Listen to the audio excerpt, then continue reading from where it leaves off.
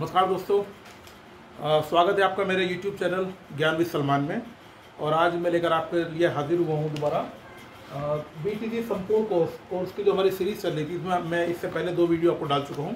उसी का आज तीसरा वीडियो है सुपर टेड स्पेशल इसमें हमने पूरे बी टी सी कोर्स में से महत्वपूर्ण तथ्य जो सुपर टेड में अ, दो दो बार जो टी टी सुपर टेट हुआ है उसमें काफ़ी प्रश्न इनमें से आए हैं। और वो सीरीज़ मैं आपके लिए लेकर आया हूँ और आज ये तीसरा ये हम वीडियोस पर डाल रहे हैं।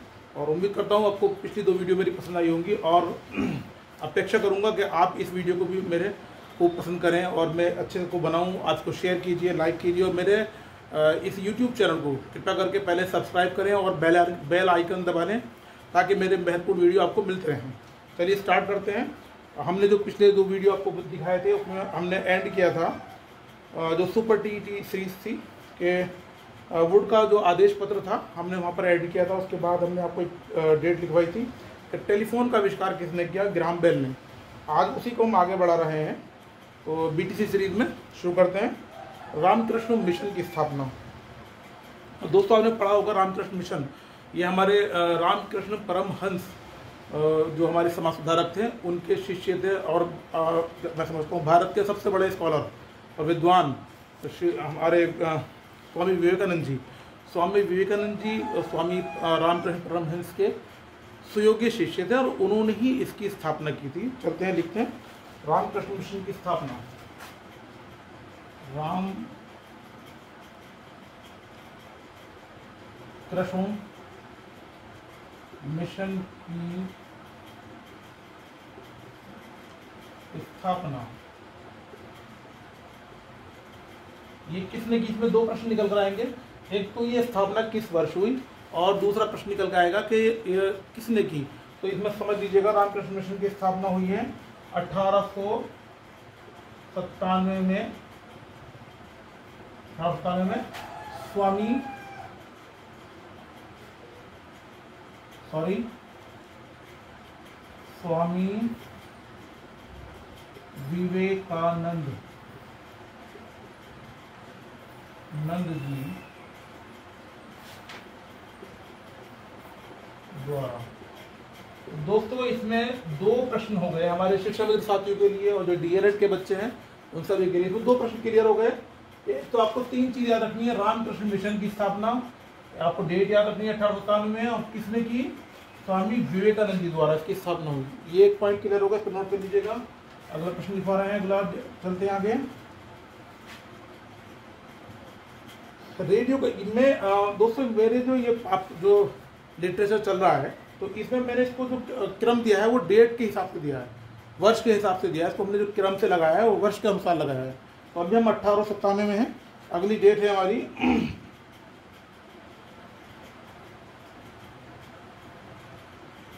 स्वामी विवेकानंद जी स्वामी विवेकानंद जी द्वारा शिकागो में भाषण दिया गया था।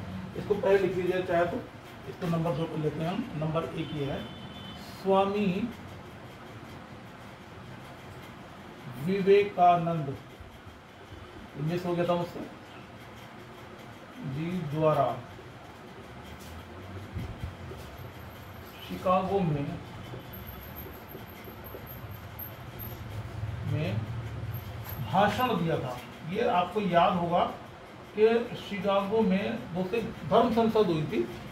जिसमें धर्म के ऊपर सभी दुनिया के बड़े से बड़े विद्वानों को आमंत्रित किया गया था और स्वामी विवेकानंद जी ने भारत की ओर से वहाँ प्रतिभाग किया और धर्म संसद में तिरानवे में अब्दुल अपना वो महत्वपूर्ण भाषण दिया जिसके चर्चा आज पूरे विश्व में होती है। मैं आपको याद भी होगा जिसमें उन्होंने कहा था कि मैं काल के सभी धर्मों को मानता हूँ। मैं काल के सभी धर्मों को मानता हूँ, चूँकि सभी धर्म मुझे ईश्वर के पास पहुँचने तक का रास्ता बताते हैं। मैंने आपको थोड़ा सा उसका मफहूम बता दिया है। वो महत्वपूर्ण भाषण जो हुआ दोस्तों, वो हुआ था अठारह में।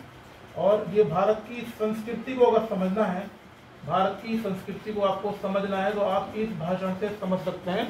और ये भारत के कुछ बड़े स्कॉलर हैं, जिन्होंने धर्म संसद में अठारह सौ तिरानवे कहा कि मैं काल के सभी धर्मों को मानता हूँ। तो भारत एक हमारा बहु मतलब ऐसा देश है जो जिसमें बहुत सारे धर्मों को मानने वाले लोग रहते हैं, सभी धर्मों का आदर और सम्मान किया जाता है। तो दोस्तों आगे चलते हैं। ये आप बता दीजिएगा। स्क्रीन शॉट ले लीजिएगा इसके। अब मैं आपको ले चलता हूँ आगे।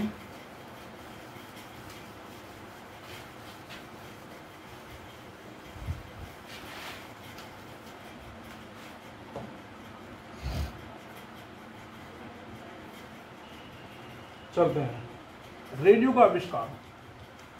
नंबर तीन है आज। रेडियो का आविष्कार। रेडियो का आविष्कार। अब आप सोच रहे होंगे बीटीसी का कोर्स में रेडियो का आविष्कार, विज्ञान का प्रश्न कहाँ से आ गया? अरे भाई बीटीसी का कोर्स ज़रूर है बट हम जब अपनी कक्षा में जाते हैं, आप देखिए कौन सा स्कूल ऐसा है जहाँ रेडियो नहीं है। आज सभी स्कूलों में रेडियो है, क्योंकि रेडियो पर मन की बात कार्यक्रम आता है। तो रेडियो एक हमारी बहुत ही महत्वपूर्ण सहायक शिक्षण सामग्री है। तो ज़ाहिर सी बात है, जब हम बीटीसी का कोर्स पढ़ रहे होते हैं तो हमें उन सभी सामग्रियों के बारे में ऑडियो विजुअल जो सामग्रियाँ हैं, जो हमारे ऑडियो के रूप में प्रयोग होती हैं विजुअल के रूप में प्रयोग होती हैं, चाहे थ्री प्रोजेक्ट हो प्रोजेक्टर हो या हमारा एल स्क्रीन हो, अभी सभी विद्यालयों में एलईडी स्क्रीन लगाई गई हैं। तो दोस्तों रेडियो भी उसी कड़ी में एक सहायक शिक्षण सामग्री के रूप में हमारी किताबों में पढ़ाया जाता है। तो रेडियो का आविष्कार किसने किया और कब किया, ये हम पढ़ेंगे और उसको नोट भी कर लेंगे। रेडियो का आविष्कार मार्कोनी ने किया था। मार्कोनी। मार्कोनी द्वारा। और ये कब किया गया, इसको लिख लेंगे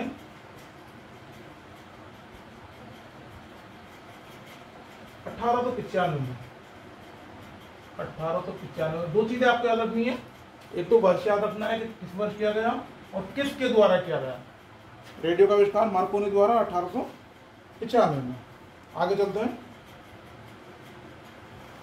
उसी कड़ी में? अब आप सोचेंगे फ़ोटो स्टेट मशीन का क्या मतलब है? आप समझ सकते हो फ़ोटो स्टेट मशीन आज की डेट में विद्यालयों में कितनी उपयोगी चीज़ है। तो ये भी एक सहायक शिक्षण सामग्री है लिख लेते हैं। फ़ोटो स्टेट मशीन का आविष्कार ये किसने किया? आविष्कार ये किया रेने ग्रिफिन ने। इसका नाम याद रख लेंगे। रेने सही नाम लेते हैं। रेने ग्रिफिन द्वारा उन्नीस सौ में। ग्रिफिन द्वारा सन कौन सा था? उन्नीस सौ। दो चीज़ याद रखेंगे। नाम याद रखेंगे। और सन याद रखेंगे फ़ूड स्टेट मशीन का आविष्कार किसने किया? आगे चलते हैं, बहुत ही महत्वपूर्ण प्रश्न है। ये आता है हमारा शिक्षा मनोविज्ञान से निकल कर। तो शिक्षा मनोविज्ञान की हमारी जो बुक है, और उससे प्रश्न आया निकल के। आपने नाम पढ़ा होगा थानडाइक बहुत बड़े साइकोलॉजिस्ट गुजरे हैं थानडाइक अपने ज़माने के। और थानडाइक की जो पुस्तक थी, आप अगर बीटीसी आपने पढ़कर अच्छे से किया है, इसको उतार लीजिएगा पहले। बता रहा हूँ मैं।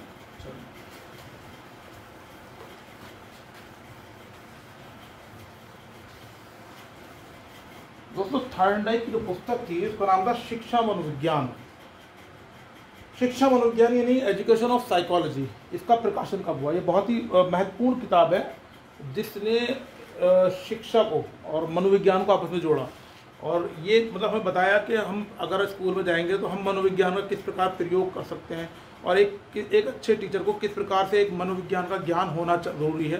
दोस्तों आप समझ सकते हैं, जब तक हम छोटे बच्चे हमारे कक्षा एक, दो, तीन, चार, पाँच में आते हैं अगर हम उनके साइकोलॉजी को सही तरीके से नहीं पढ़ पा रहे हैं या उनको समझ नहीं पा रहे हैं तो हमें एक अच्छा शिक्षक होने में हमें दिक्कत आएगी। हम एक अच्छे शिक्षक तभी हो पाएँगे जब हमें यह पता हो कि बच्चे की साइकोलॉजी क्या चल रही है बच्चे के अंदर क्या है बच्चे के जेनेटिक प्रभाव क्या है बच्चे का आ, क्या कहते हैं एनवायरमेंटल जो प्रभाव है वो जिस किस वातावरण से आ रहा है या उसकी जो आसपास के उसके बहन भाइयों का जो वातावरण है वो क्या है घर का वातावरण क्या है और उसमें जेनेटिक उसे क्या मिला है? और ये सभी चीज़ें जब तक हमें उसका पूरा ज्ञान नहीं है बच्चे का, और ये क्या ज्ञान कहाँ से मिलेगा हमें? तो उससे ज्ञान मिलेगा हमें साइकोलॉजी से। तो इस साइकोलॉजी की शुरुआत जब हुई जब शिक्षा से इसको जोड़ा गया तो उसी महत्वपूर्ण कड़ी में से सबसे महत्वपूर्ण जो साइकोलॉजिस्ट हैं, जो शिक्षा मनोविज्ञानी हैं एजुकेशनल साइकोलॉजिस्ट उनका नाम है थर्नडाइक तो थर्नडाइक की पुस्तक प्रकाशित हुई, उसका नाम था एजुकेशन एजुकेशन ऑफ़ साइकोलॉजी तो लिख लेते हैं। थर्न डाइक की पुस्तक थर्न डाइक नाम याद रखिए, बहुत ही महत्वपूर्ण है साइकोलॉजी साइकोलॉजी में। थांडाइक की पुस्तक।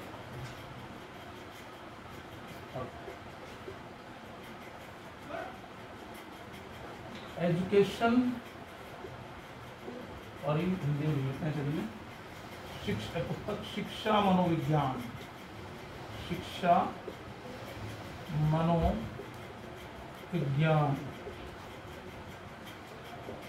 और इसको education education psychology E F Y psychology का प्रकाशन। प्रकाशन कब हुआ? तो इसको याद कर लीजिए। ये हुआ 1903 में। दोस्तों ये बहुत ही महत्वपूर्ण किताब है। बहुत ही महत्वपूर्ण है और ये बहुत ही महत्वपूर्ण तथ्य मैं लेकर आया हूँ आपके लिए। शिक्षा मनोविज्ञान ये बहुत महत्वपूर्ण किताब है। ये टी के आ, में भी और आप सुपर टी में बहुत आ, मतलब अच्छा काम करेगी तो इसको इसको याद कर लीजिएगा, बहुत महत्वपूर्ण तथ्य है ये। हार्डाइक की पुस्तक है, शिक्षा, मनोविज्ञान एजुकेशन ऑफ़ साइकोलॉजी का प्रकाशन उन्नीस सौ तीन में हुआ। ये तो बहुत सारे तथ्य हैं। एक आपको उसका वर्ष याद कर लीजिए कब प्रकाशन हुआ उन्नीस सौ तीन में। और पुस्तक का नाम क्या है? एजुकेशन ऑफ़ साइकोलॉजी यानी कि शिक्षा, मनोविज्ञान, और कौन इसके प्रकाश कौन है इसके प्रकाशक कौन है लिखने वाले इसके? थांडाइक थांडाइक ने इसको लिखा है, और उन्नीस सौ उन्नीस का प्रकाशन हुआ। आगे चलते हैं।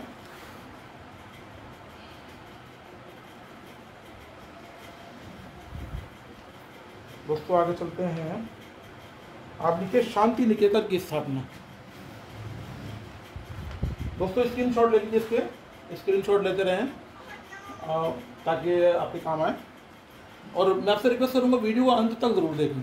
वीडियो को अंत तक देखें इसमें बहुत सारे महत्वपूर्ण तथ्य आपको छूट जाते हैं, अगर आप पूरी वीडियो नहीं देखते। वीडियो को अंत तक ज़रूर देखें। मेरे चैनल को सब्सक्राइब भी करते रहें लाइक भी करते रहें शेयर भी करते रहें मेरी वीडियोज़ को। चलिए, आगे चलते हैं।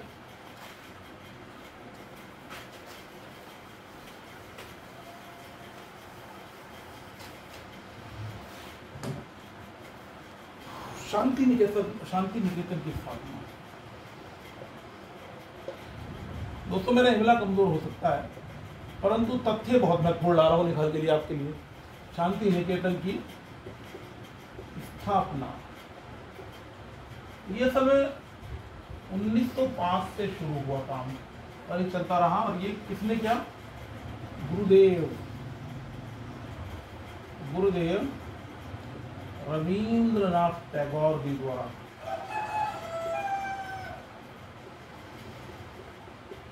टैगोर जी द्वारा। दोस्तों शांति निकेतन एक, ये मान के चलिए, स्कूल टाइप था। एक गुरुदेव रविन्द्रनाथ टैगोर ने उन्नीस सौ पाँच में इसकी स्थापना की। बाद में इसी जगह में विश्व भारती की स्थापना हुई उन्नीस सौ इक्कीस बाईस में। तो वो भी मैं आपको लिखूँगा फ़िलहाल लिख लीजिए। शांति निकेतन की स्थापना बहुत ही महत्वपूर्ण है। प्रश्न दो है तो किसने की, रविन्द्रनाथ टैगोर ने की किस कब हुई, उन्नीस सौ पाँच में? बता दीजिएगा। इसके स्क्रीन शॉट भी लेते रहे आगे चलते हैं।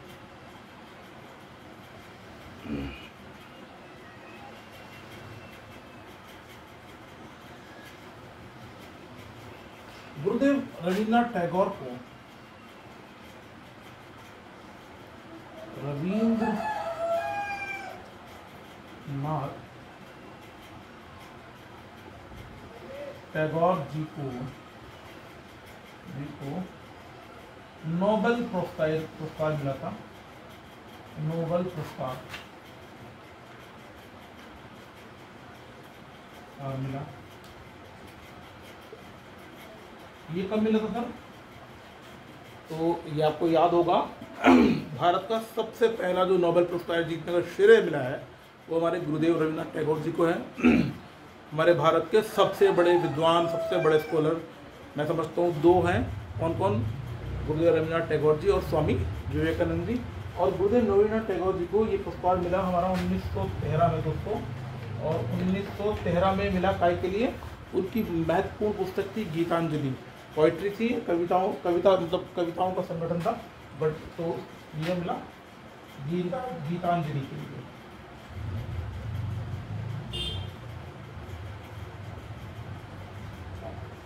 श्रद्धांजलि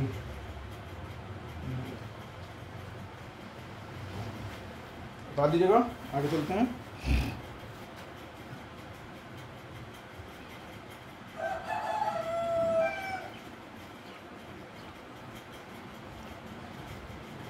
टालस्टाय आश्रम एक पॉइंट ये हो गया दूसरा ये हो गया तीसरा अब मैं लिखवा रहा हूँ। टालस्टाय आश्रम। दोस्तों ये आश्रम है कहाँ पर है साउथ अफ्रीका में दक्षिण अफ्रीका में। तो यहाँ लिख देते हैं दक्षिण अफ्रीका। पहली बात तो एक प्रश्न आपका एक कंफर्म हो गया दक्षिण अफ्रीका में है दक्षिण अफ्रीका। खालसा आचरण की?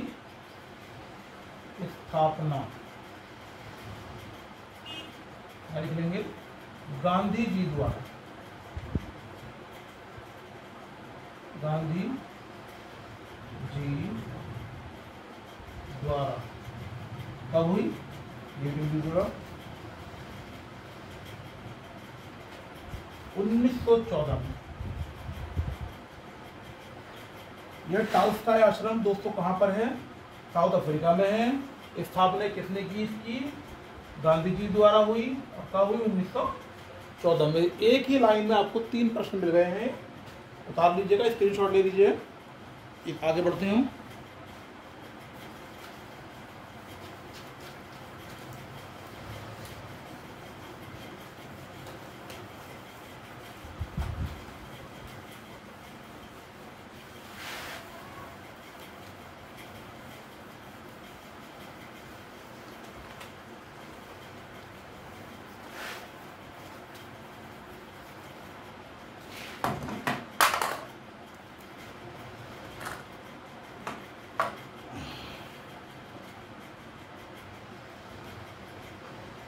दोस्तों, गांधी जी ने और आश्रम की स्थापना की?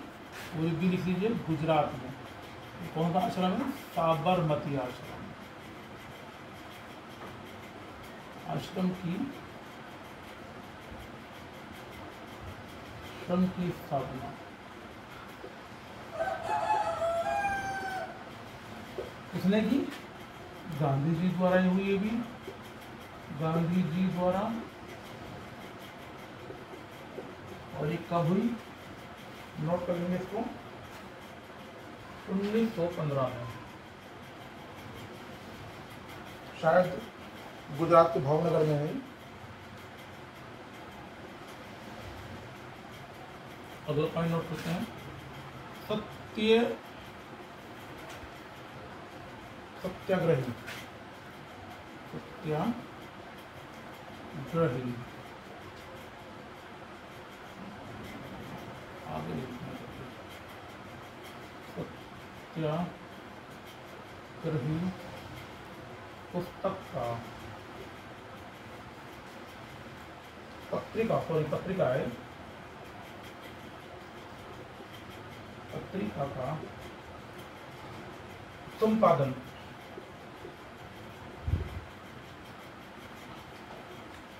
क्या गांधी जी द्वारा भी उन्नीस उन्नीस में। संपादन गांधी जी द्वारा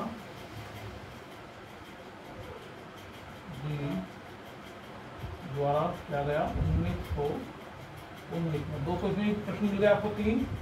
सत्याग्रही पत्रिका है, संपादक कौन है गांधी जी? कब प्रकाशन हुआ इसका? उन्नीस सौ उन्नीस में। उस आपको याद होगा गांधी जी 1914 में भारत लौट आए थे साउथ अफ्रीका से। ज़ाहिर सी बात है अभी शुरुआत हो गई थी 1914 के बाद से गांधी युग की, इंडिया में। जब गांधी शुरू हुआ, ज़ाहिर बात है आपको फिर किताबों में, इतिहास में, फिर हर जगह आपको गांधी जी की छाप आपको दिखाई देगी। शिक्षा में भी उनका देखिएगा, आप देख रहे हैं, आप पिछले तीन चार पॉइंट गांधी जी के ऊपर डिपेंड है। अब चलते हैं आगे एक और शिक्षा शिक्षाविद हुए हमारे। उनका नाम था गीजू भाई बधेका। गीजू भाई बधेका, आपने पढ़ा होगा इनके बारे में। बीटीसी में हंड्रेड परसेंट उन्हीं के उसमें मैं आपको छोटे से दो तीन प्रश्न लेकर आया हूँ। नोट कर लेंगे, एक ही लाइन में तीन प्रश्न हैं। इसको आप स्क्रीन शॉट लेते रहिएगा मेरे? लिखवाए जो मैं लिखवा रहा हूँ आपको। एक ही लाइन में तीन प्रश्न है। दक्षिणामूर्ति विद्यार्थी भवन, बाल मंदिर का निर्माण।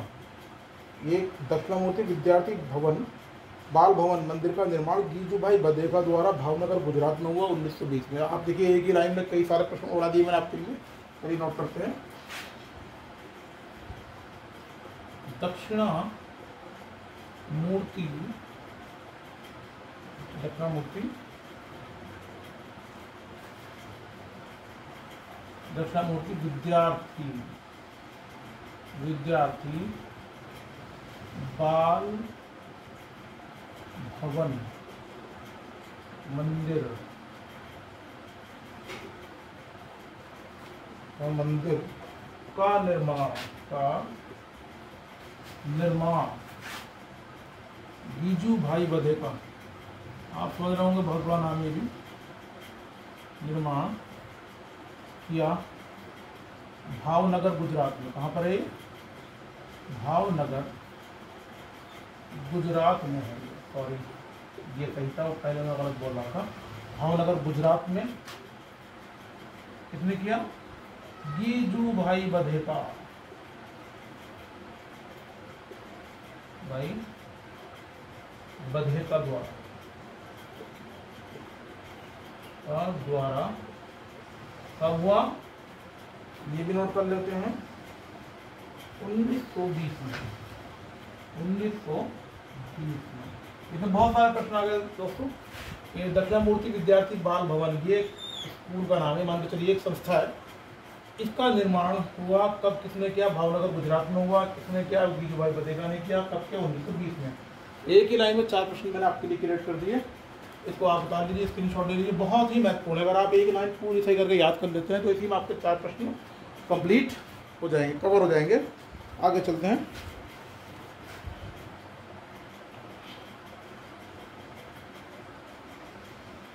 विश्व भारती की स्थापना। विश्व भारती की स्थापना। स्थापना दोस्तों ये वही शांति निकेतन वाला बता रहा था ना आपको शांति निकेतन की स्थापना हुई थी, उसी में विश्वविद्यालय बनाया गया बाद में विश्व भारती। और उन्नीस सौ इक्कीस बाईस का इसका समय है। तो उन्नीस सौ इक्कीस में शुरुआत हुई बाईस में ये कंप्लीट हुआ। तो दोस्तों मैं वीडियो को मैं एंड कर रहा हूँ चूँकि लंबी हो जाएगी। इसी की नेक्स्ट सीरीज़ दोबारा अपलोड करेंगे। और मैं आपसे रिक्वेस्ट करूँगा, मेरे इस चैनल को सब्सक्राइब कर लें। लाइक करें मेरे वीडियोस को और अपने सभी दोस्तों को शेयर करें। इसी के बाद मैं बात को समाप्त कर रहा हूँ। जल्दी हाजिर हूँ नेक्स्ट वीडियो के साथ। Goodbye. Okay, bye.